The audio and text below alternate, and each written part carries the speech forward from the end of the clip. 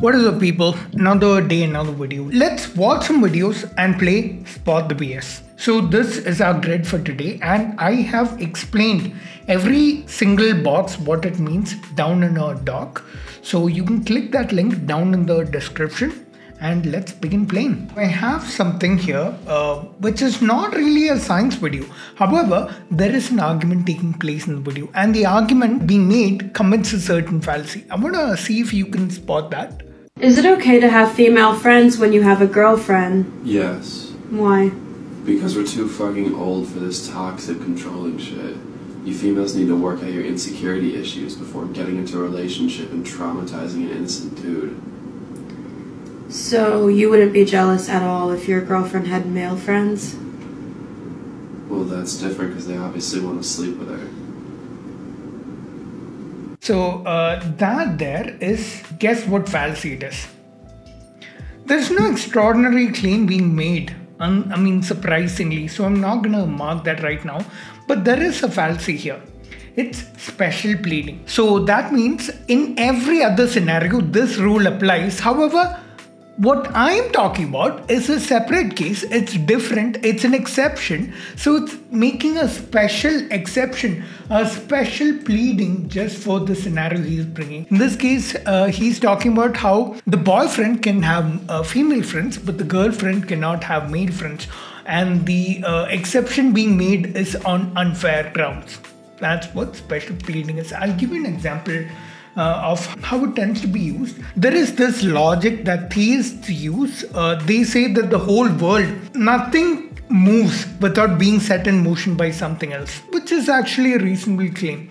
So, if something has set something else in motion, or something has created something, because obviously that means uh, nothing is created without being created by something else everything in the universe is created by something else, created by something else, created by something else, and that ultimate eternal creator, that's what they say, is called God. And God is what created the whole universe so that everything in the universe leads. I mean, if you trace its creation back, you'll reach God. And the problem with this argument is who created God? And theists will argue that hey god is eternal doesn't need to be created is outside space and time. These are all special pleading arguments. If everything needs to be created but god doesn't need to be created you're making a special exception on unfair grounds for god. That's why it's special pleading. Let's watch another one. I love my dessert, and if you tell me no dessert after food, mm. I'd go crazy. I'd have fruit of the season mixed with uh, with yogurt and, and and created in such a way that when frozen अगर आपको भी fruit custard पसंद है तो तीन By the way, there's the same guy we saw in yesterday's video, uh, Ayurveda page. Uh, he'll actually mention something on Ayurveda here. बातों का ख्याल रखे फर्स्ट फ्रूट कस्टर्ड को रूम टेम्परेचर पे खाए कोल्ड या फ्रोजन खाने से वात दोषा इम्बेलेंस की वजह से What is this वात दोषा? What is it? Just show me some evidence for it. So I'll mark extraordinary claims. And since he's appealing to Ayurveda, I will mark appeal to uh, tradition. Gas और bloating हो सकती है second इसमें इलायची दालचीनी या saffron add कर ले इनके हेल्थ बेनिफिट्स तो है ही साथ में ये मिल्क की हैवीनेस और फ़ूड की स्वीटनेस को बैलेंस कर दे Milky heaviness, what the hell is that? Does milk make you feel heavy? I mean, these are evidence-less, baseless claims. I will ignore them, but yeah, I like to examine them देते तो आपको digestive problems नहीं होगी। Third fruits को अलग से खाना चाहिए तो अगर आप फ्रूट कस्टर्ड डेजर्ट के तौर पे खा रहे हो तो कम मात्रा में खाए। स्टिल अगर आपको गैस की समस्या हो रही है तो आप इसकी बजाय थोड़ा गुड़ और सोप ले सकते हो जिससे शुगर क्रेविंग्स भी मिट जाएगी और साथ में हेल्थ बेनिफिट्स भी मिलेंगे। I will also mark misinformation Um, I won't say fear mongering yet because he's not saying avoid this, this will give you this disease. He's not saying that yet. But um, see, the problem here is that we are kind of used to being given instructions from some authority, right? So we don't tend to question that authority.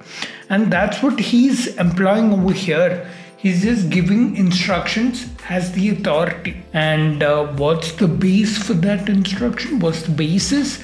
Uh, is there any evidence behind it? Can we? Is there any reason why you're uh, asking us not to eat at this temperature, something that has evidence. Uh, is there any reason why you're saying eat in this quantity, not in that quantity? All that stuff. Let's watch another one. The most acid forming substance you can put in your body, I'm sorry, I cannot call it a food because I consider it a poison, and that is the pure crystallized acid that's been extracted from the sugar cane plant. It's a highly concentrated substance, whether it be white, tan, or brown. One of the problems with sugar today is it's so, this video is clearly fear mongering. It's making people think that sugar is some kind of oh man, I really want to get the diagonal. Anyway, it's clearly making people think that uh, sugar. Number one, sugar is not an acid. An acid has to be able to generate H plus ions or uh, accept electrons. I believe that's what a Lewis acid is. I think sugar does none of those things. So chemically, it cannot be an acid. Now, if you're saying that uh, sugar causes all these problems, provide evidence. These are extraordinary claims being made without any evidence. And we've seen lots of sugar fearmongering videos, but the fact is, sugar can be part of your diet, but eating too much of it easily leads to a lot of problems. Limiting it is easily achieved if you limit your calories. You cannot eat a lot of sugar while limiting your calories.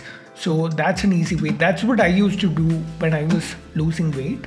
But uh, yeah highly sprayed because the bugs attack it. The sugar cane is grown in the same ground again and again and again, so the ground is very depleted in nutrients. This actually makes a bit of sense. So there are many reasons why sugar should never be eaten, and there is no need for us to eat sugar. We've got beautiful sweeteners like honey, maple. What is honey? Honey doesn't have sugar.